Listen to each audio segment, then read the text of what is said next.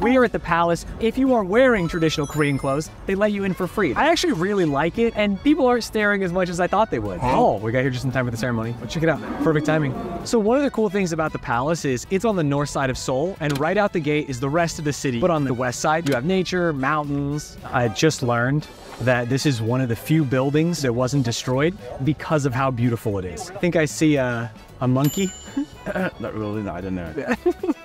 Is that you're supposed to walk? Ah, I see. I, am very comfortable in this. I feel like I'm wearing pajamas. It's like very soft. So that was the Korean Palace. We got to see some beautiful buildings, learn a little bit about the history, and I learned how to walk like Korean royalty.